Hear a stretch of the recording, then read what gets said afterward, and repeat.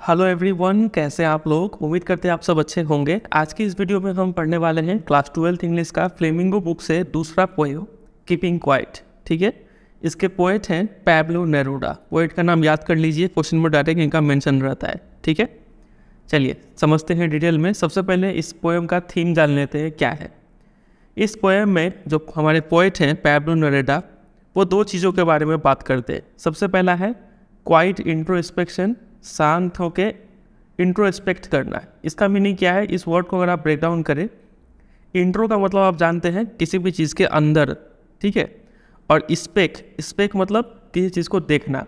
तो अपने अंदर झाँक के देखना कि हम लोग जो एक्टिविटी कर रहे हैं, जो भी काम कर रहे हैं, उसका क्या यूज़ है, क्या उसका रिज़ल्ट आ रहा है, ठीक है? सही कर रहे हैं कि गलत कर रहे हैं या फिर भीड़ के साथ चले जा रहे हैं। ये अगर हम एनालाइज करते हैं तो इसी को क्या बोलते हैं? इंट्रोस्पेक्ट करना बोलते हैं, ठीक है? तो इस पोएम में जो पोइट है पैब्लो नोरेडा वो हमें बताते हैं कि हमें शांत होकर इंट्रोस्पेक्शन करना है और दूसरा creating a feeling of mutual understanding among human beings वो चाहते हैं कि हम लोग इस चीज़ को समझें कि हम जो ह्यूमन बींग्स है, वो आपस में कनेक्टेड है। ठीक है? कनेक्टेड है और हम लोग एक दूसरे को समझे, ये हमारे पोएट चाहते हैं। ठीक है? चलिए डिटेल में इस पोएम को पढ़ के समझते हैं क्या वो मीनिंग दे रहे हैं। देखिए पोएम यहाँ से स्टार्ट होता है। लिखा हुआ है कि now we will count to twelve and we will all keep still बोलते हैं कि अब हम बारह तक गिनेंगे। यहाँ पे पोएट जो है वो डायरेक्ट हम रीडर से इंटरेक्ट कर रहे हैं। ठीक है रीडर्स को डायरेक्ट बोल रहे हैं कि अब हम पोइट हमको बोल रहे हैं। मेरे को आपको सबको बोल रहे हैं कि अब हम बारह तक गिनेंगे। ये बारह तक गिनना तो सिर्फ़ एक आ, बोलने का बात है। बारह तक गिनेंगे मतलब थोड़ी देर बाद अब हम लोग क्या हो जाएँगे? We will all keep still हम लोग स्टिल हो जाएँगे। स्टिल का मतलब समझते हैं कुछ भी एक्टिविटी नहीं करना। इनएक्ट ठीक है? मतलब अपने जो भी आप काम कर रहे हैं, उसको रोक देना। ठीक है? स्टॉप और साथ ही साथ क्या भी हो जाना? साइलेंस हो जाना। ये दो चीज़ पोइट बोलना चाह रहे हैं यहाँ पे। ठीक है? स्टिलनेस और साइलेंस ये दो यहाँ पे कीवर्ड है। हैं कि अब हम थोड़ी देर बाद मतलब अब हम बारह तक गिनेंगे, उसके बाद हम क्या करेंगे? स्टिल हो जाएँगे, यानी ना कुछ बोलेंगे और जो भी एक्टिविटी कर रहे हैं, वो भी रोक देंगे। स्टिलनेस एंड साइलेंस यहाँ तक, ठीक है? For once on the face of the earth let's not speak in any language let's stop for one second and not move our arms so much यहाँ पे हम कुछ चीज़ अंडरलाइन कर रखे हैं क्योंकि ये सब के ऊपर क्वेश्चन आता है। इन सब का डीप मीनिंग है। देखिए, बोला गया कि एक बार, सिर्फ़ एक बार इस अर्थ पे on the face of earth मतलब ये जो अर्थ एग्जिस्ट कर रहा है, इस अर्थ पे ऐसा पहली बार, एक बार के लिए सिर्फ़ क्या कीजिए?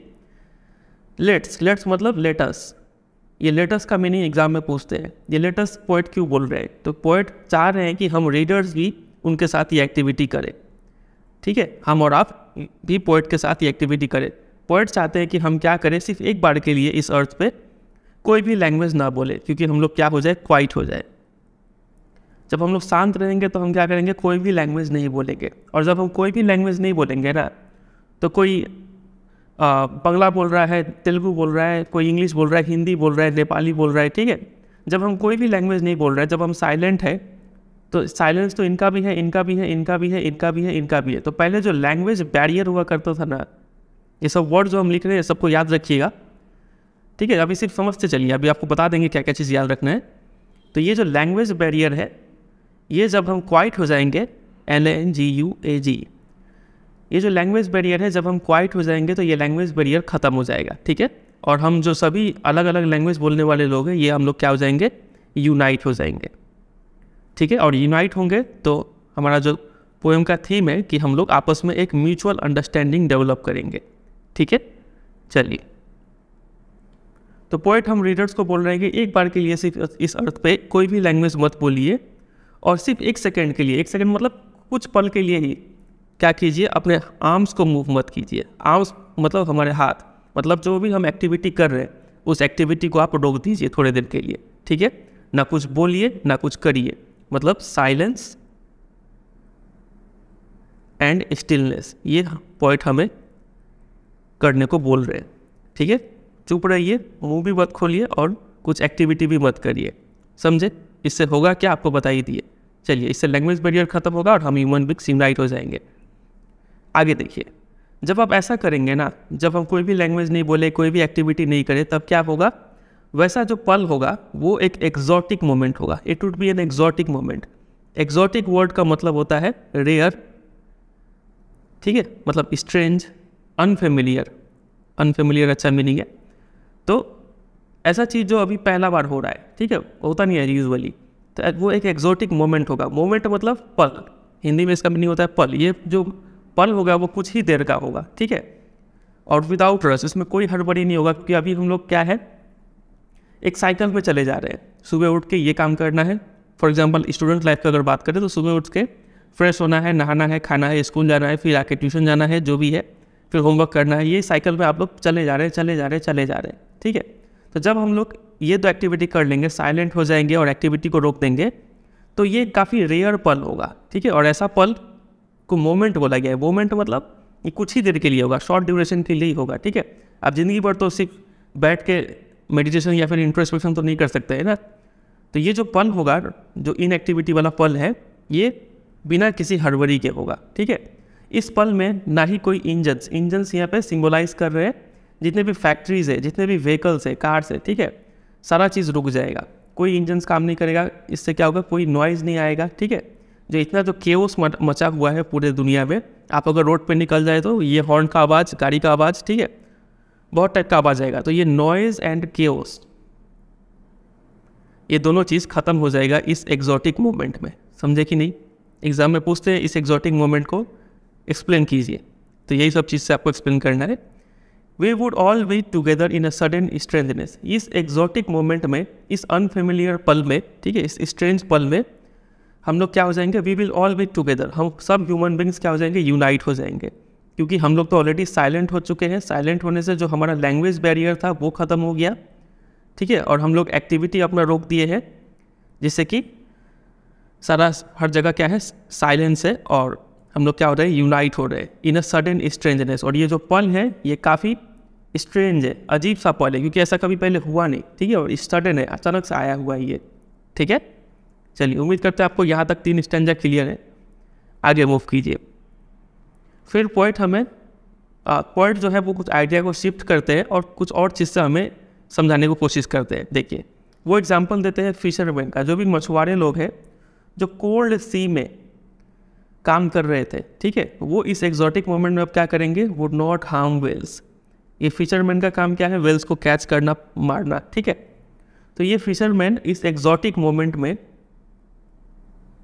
ये काम करना बंद कर देंगे। वो इस वेल्स को भी हार्म करना बंद कर देंगे। तो इस एग्जॉटिक मोमेंट में देखिए, सिर्फ़ ह्यूमन बींग्स को ही आराम नहीं मिल रहा है, बल्कि अर्थ पे जितने भी अदर लाइफ फॉर्म जो एग्जिस्ट कर रहे हैं, उनको भी थोड़ा राहत मिलेगा। ये वेल्स लोग भी कुछ देर के लिए सुकून का सांस लेंगे कि चलो, कोई अब हमें मारने तो नहीं आ रहा है एटलीस्ट ठीक है? और यहाँ पे कोल्ड सी बताया गया है कि ठंडे नदियों में हम लोग इतना हार्ड वर्क कर रहे हैं आज के टाइम पे, पता नहीं हमें कहाँ पहुँचना है, ठीक है? कि हम लोग कुछ भी बिना सोचे समझे किए जा रहे हैं। तो इस एग्जॉटिक मोमेंट में ये सब काम करना हम बंद करेंगे, ठीक है? तो एक एग्ज़ाम्पल हो गया फिशरमैन का। दूसरा एग्ज़ाम्पल पॉइंट देते हैं। एक ऐसे इंसान का जो क्या कर रहा है सॉल्ट गैदरिंग कर रहा है would look at is hurt hand जो नमक बना रहा है, ठीक है? आप लोग तो नमक खा लेते हैं, लेकिन नमक बनाने का जो प्रोसेस है, जो इकट्ठा करने का प्रोसेस है, वो काफ़ी टफ का माना जाता है। नमक जो है, वो स्किन को काफ़ी डैमेज कर देता है, ठीक है?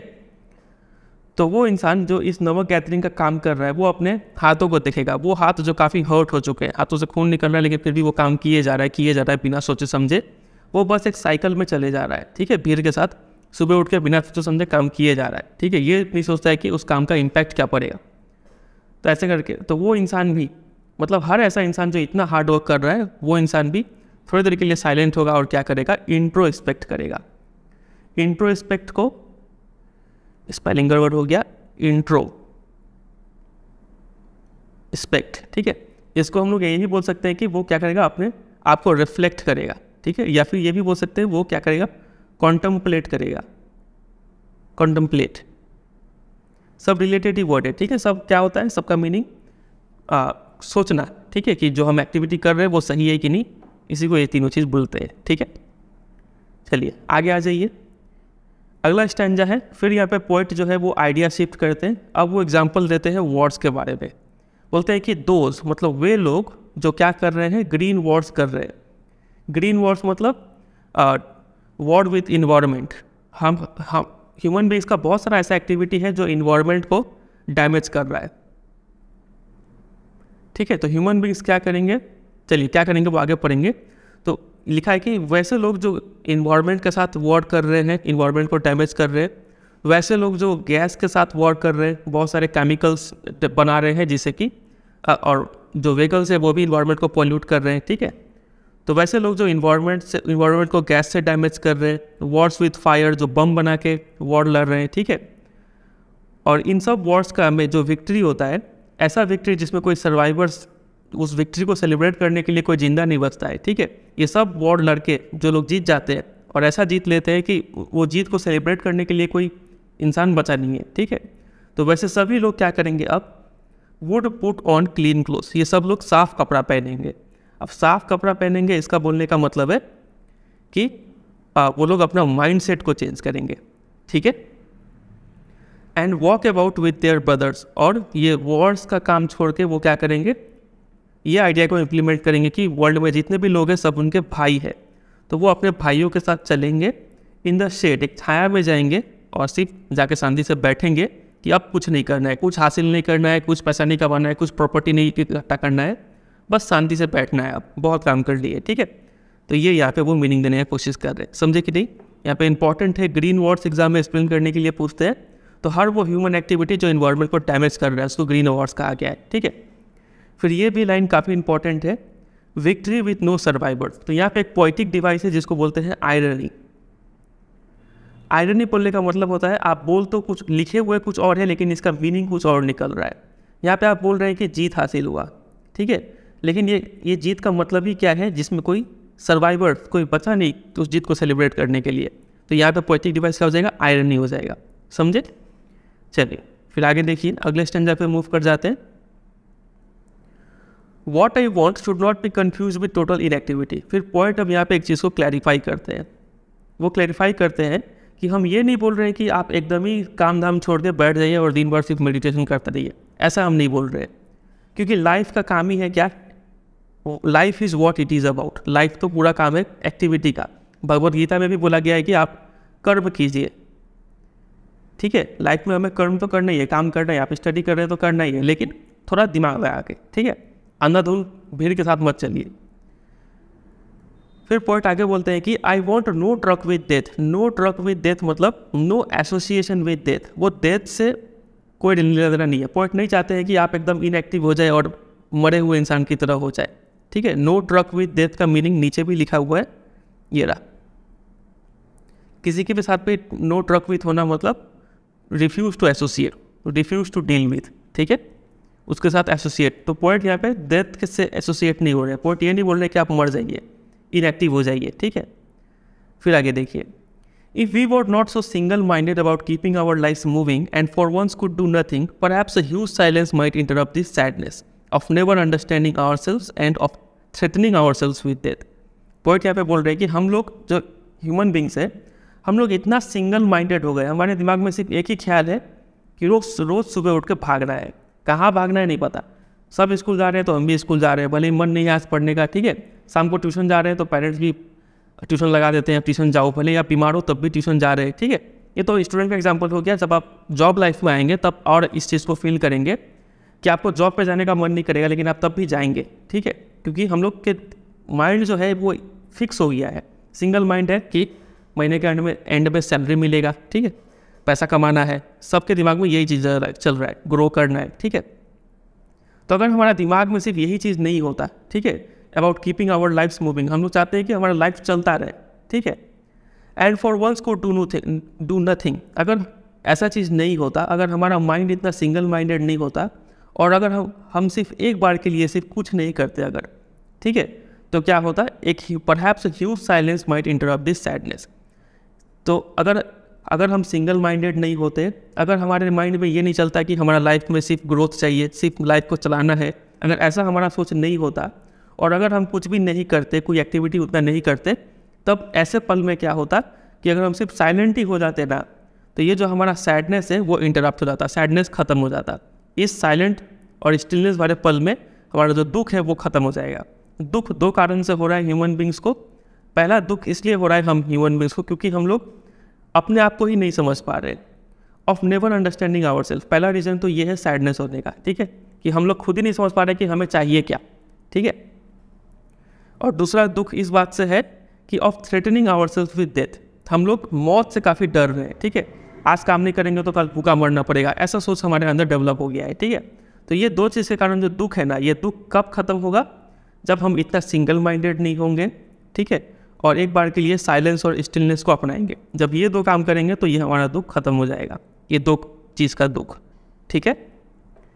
फिर पॉइंट यहाँ पे और अपना एक आइडिया शिफ्ट करते हैं वो बोलते हैं कि perhaps the earth can teach us as when everything seems dead and later proof to be alive हम लोग, ये जो आइडिया है इंट्रोस्पेक्शन करने का साइलेंस और स्टिलनेस का, ठीक है? ये तीनों चीज़ का आइडिया अर्थ से काफ़ी अच्छे तरीके से ले सकते हैं। अर्थ हमें ये तीनों चीज़ काफ़ी अच्छे तरीके से सिखा सकता है। कैसे? देखिए विंटर्स के टाइम में क्या होता है जो आप ट्रीज़ देखते हैं जो प्लांट देखते हैं वो पत्ते झड़ जाते हैं। लगता है कि वो पेड़ मर चुका है ठीक है पत्ता ही नहीं है। लेकिन जैसे ही स्प्रिंग सीज़न आता है वैसे ही अचानक से उस आ, प्लांट में उस ट्री में नए नए पत्ते आने लगते हैं ठीक है? वो यहाँ पे लिखा है तो लगभग ये जो विंटर सीज़न था ना कि विंटर सीज़न में ये अर्थ यानी जो नेचर था वो क्या कर रहा था? साइलेंट था स्टिल था, अपना सारा एक्टिविटी रोक दिया था। जो रूट से जो भी एनर्जी वो ले रहा था, ठीक है, और जो भी फोटोसिंथेसिस हो रहा था, उससे वो खुद को रिचार्ज कर रहा था रिवाइव कर रहा था और इंट्रोस्पेक्ट कर रहा था। और जैसे ही सभी सही समय आया स्प्रिंग सीज़न आया, वैसे ही ये वापस दोबारा एनर्जी के साथ अपना एक्टिविटी चालू कर दिया। समझे कि नहीं? तो साइलेंस स्टिलनेस इंट्रोस्पेक्शन का बहुत अच्छा चीज़ एग्ज़ाम्पल अर्थ हमें शो करता है। ठीक है? वो यहाँ पे लिखा है। जब हर चीज़ लगता है कि मर गया विंटर के टाइम पे, ठीक है? और बाद में जैसे ही स्प्रिंग सीज़न आता है proofs to be a life अचानक से उसमें लाइफ आ जाता है, ठीक है? तो ये चीज़ हम अर्थ से सीख सकते हैं। Now I will count up to twelve अब हम बारह तक गिनेंगे। And you keep quiet you मतलब हम रीडर्स पॉइंट हमें बोल रहे हैं कि आप शांत रहिए। एंड आई विल गो और हम चले जाएँगे, और आप शांत होकर क्या कीजिए? इंट्रो एक्सपेक्शन कीजिए। बात अगर समझे कि नहीं? चलिए, अब यहाँ पे दो चीज़ के ऊपर बहुत इंपॉर्टेंट क्वेश्चन बनता है, उससे पहले कुछ पोइटिक डिवाइस पर बात कर लेते हैं, ठीक है? देखिए। पोइटिक डिवाइस सबसे पहले तो मेरे को ये नज़र में आ रहा है hurt hands H sound repeat हो रहा है एट द बिगिनिंग तो क्या हो जाएगा? एलिटरेशन ठीक है? और भी कुछ कुछ होगा यहाँ पे। यहाँ पे देखिए वी विल वी विल बताइए कौन सा, वो साउंड रिपीट हो रहा है एट द बिगिनिंग में तो एलिट्रेशन हो गया। ठीक है? फिर आगे यहाँ पे जो सबसे इंपॉर्टेंट जो क्वेश्चन बनता है, वो यहाँ से बनता है। इस स्टैंडर्ड में बहुत सारा पोइटिक डिवाइस है। एक तो आपको बता ही दिया आयरनी उसके बाद देखिए ये लाइन में वर्ड्स वर्ड्स वर्ड्स ठीक है तो यहाँ पे वर्ड्स का रिपीटिशन हो रहा है। ठीक है, ये हो गया। उसके बाद ग्रीन वर्ड्स ग्रीन वर्ड्स क्या सिम्बोलाइज कर रहे हैं? तो यहाँ पे सिम्बोलिज्म है। ग्रीन मतलब इन्वायरमेंट के साथ वर्ड ठीक है? तो यहाँ पे पोइटिक डिवाइस हो गया सिम्बोलिज्म ये याद रखिएगा। उसके बाद वर्ड्स विथ वो साउंड रिपीट हो रहा है एट द बिगिनिंग तो एलिट्रेशन ठीक है? फिर और तो और भी होगा छोटा मोटा, लेकिन मेन इतना ही था, ठीक है? चलिए, फिर और बात करते हैं कि दो यहाँ में बहुत इंपॉर्टेंट क्वेश्चन बनता है। आपसे एग्ज़ाम में बोलेंगे कि ये जो पैब्लो नरोडा का आइडिया है कि हम साइलेंट हो जाए स्टिलनेस हो जाए, क्या ये आज के टाइम पे पॉसिबल है क्या? हम लोग तो इनका जो आइडिया है, ये सुन के कोई फैंसीफुल आइडिया नहीं लगता है। ये तो हम, ये वर्ड देंगे आपको। ये जो पैब्लो नेरेटा का आइडिया है साइलेंट और स्टिलनेस अपनाना ये एक फैंसीफुल आइडिया नहीं लगता है। सच में ऐसा करना पॉसिबल है क्या? तो इसका आंसर होगा कि नहीं, इनका आइडिया फैंसीफुल नहीं है, क्योंकि ये जो आइडिया दे रहे हैं आइडिया क्या है इनका? स्टिलनेस का। तो ये आइडिया इतना भी बेकार नहीं है, ठीक है? आपको ये लिखना पड़ेगा, ये जो उनका आइडिया है स्टिलनेस का, ये आज भी क्या है रेलिवेंट है, क्योंकि इससे हमें फ़ायदा पहुँचेगा, ठीक है? और जब हम इंट्रोस्पेक्ट करेंगे ना जब इंट्रो इंट्रोस्पेक्ट करेंगे तो इसका भी इम्पोर्टेंस है। हमें रियलाइज़ होगा कि हम जो काम कर रहे हैं, उसका कितना इम्पोर्टेंस है। ठीक है? तो ये दो कारण से हम बोल सकते हैं कि जो पैवन रोडो का आइडिया है, ये फैंसीफुल नहीं है। समझे कि नहीं? एक क्वेश्चन तो ये बनता है। और दूसरा क्वेश्चन ये बनता है इस पर कि आज के डेट में सोशल मीडिया के ज़माने में पैरवन अरोरा का जो आइडिया है साइलेंस और स्टिलनेस को इम्प्लीमेंट करना, ये क्या बहुत ईजी है या फिर बहुत डिफ़िकल्ट है? इस पर अपना व्यू एक्सप्रेस कीजिए। इसके ऊपर क्वेश्चन आता है। तो देखिए, इसमें तो कोई डाउट नहीं है कि आज जो सोशल मीडिया का चलन है सोशल मीडिया बोलने का मतलब है जो भी व्हाट्सएप हो गया फेसबुक इंस्टाग्राम यूट्यूब ठीक है? और जो भी छोटा मोटा ऐप होगा। तो ये सोशल मीडिया का वजह से आज के टाइम पे साइलेंस रह पाना और स्टिलनेस रह पाना, कुछ काम नहीं करना, बिना मोबाइल के रह पाना, ठीक है? कोई एक्टिविटी नहीं करना और इंट्रो इंट्रोस्पेक्ट करना, ये करना सच में एक डिफ़िकल्ट टास्क है, इसमें कोई डाउट नहीं है। तो पैवलो नेरेटो का जो आइडिया है साइलेंट रहने का, ये नो डाउट एक डिफ़िकल्ट टास्क है टू इम्प्लीमेंट ठीक है? सोशल मीडिया के ज़माने में। क्यों? क्योंकि आज के टाइम में हमारे मन में क्या चल रहा है? हम लोग कॉन्स्टेंट स्टिमुलेशन में हैं। कॉन्स्टेंट स्टिमुलेशन का मतलब क्या होता है?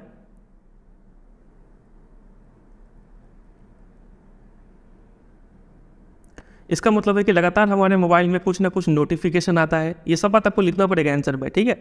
नोटिफिकेशन आता है, कोई न्यूज़ आ गया, ठीक है?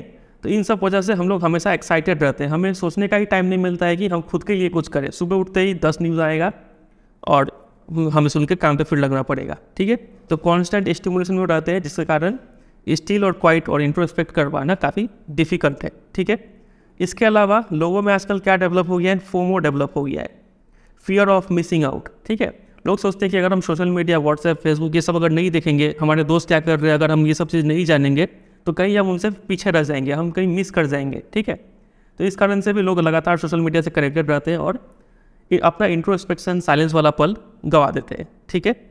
इसके अलावा जो हमारा अटेंशन स्पैन है ना, किसी भी चीज़ पे ध्यान लगाने का समय, वो हम लोग का काफ़ी कम हो गया है, वो काफ़ी शॉर्ट हो गया है। ठीक है, हम लोग एक चीज़ पे काफ़ी कम समय के लिए ही फोकस कर पाते हैं। जैसे कि फॉर एग्जांपल आप लंबे वीडियो कम देखते होंगे यूट्यूब में शॉर्ट्स ज़्यादा देखते होंगे, ठीक है? क्यों? क्योंकि हमें कम समय तक एक, हम कम समय तक ही एक किसी चीज़ पे फोकस कर सकते हैं, ठीक है? अटेंशन स्पैन काफ़ी कम हो गया है, ठीक है? तो ये रीज़न से भी जो पॉइंट का, जो मैसेज है इंट्रोस्पेक्ट करने का साइलेंस रहने का स्टिलनेस रहने का, वो काफ़ी डिफ़िकल्ट है इम्प्लीमेंट करना, ठीक है? और एक रीज़न है, दे सकते हैं आप कंपैरिजन आज के टाइम पर सोशल मीडिया की वजह से क्या होता है कि लोगों में कंपैरिजन करने का हैबिट डेवलप हो जाता है कि अरे वो तो इतना परसेंटेज ले आए, हम कम ले आए, ठीक है? वो इतना कमा रहे हैं, हम कम कमा रहे तो कंपैरिजन करते करते ही लोग ये भूल जाते हैं कि हमें इंट्रोस्पेक्ट साइलेंट रह के स्टिल रह के करना है, ये चीज़ करना वो मिस कर देते हैं, ठीक है? तो इन सब रीज़न से हम बोल सकते हैं कि आज के टाइम पर सोशल मीडिया के टाइम पर पोइट का जो आइडिया है, इसको इम्प्लीमेंट करना डिफ़िकल्ट है। अब याद रखिएगा, हम डिफ़िकल्ट बोल रहे हैं इम्पॉसिबल नहीं बोल रहे। क्योंकि आप चाहे तो अगर सोशल मीडिया को सही तरीके से अगर आप यूज़ करते हैं, खुद पे अगर कंट्रोल रखते हैं और तब सोशल मीडिया का यूज़ करते हैं तो आज भी आप जो पोइट का आइडिया है पैब्लो लोरेटा का इंट्रोस्पेक्शन करने का, ये आज भी आप इम्प्लीमेंट कर सकते हैं। बात अगर समझे कि नहीं?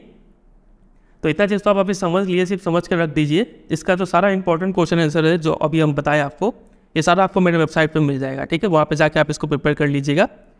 बस इतना ही था ये पोएम उम्मीद करते हैं आपको समझ में आ गया होगा। वीडियो अच्छा लगा तो ज़रूर एक लाइक कर दीजिएगा। कोई डाउट कन्फ्यूज़न है तो कमेंट करके ज़रूर बताइएगा। हम कोशिश करेंगे वहाँ पे आंसर देने का।